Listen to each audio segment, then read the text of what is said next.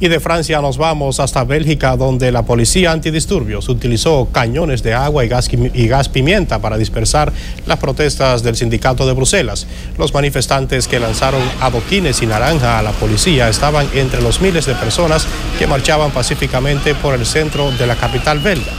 Los manifestantes protestaban contra las políticas de austeridad respaldadas por instituciones de la Unión Europea y también expresaron su oposición a que las empresas importen trabajadores más baratos para sustituir a empleados locales.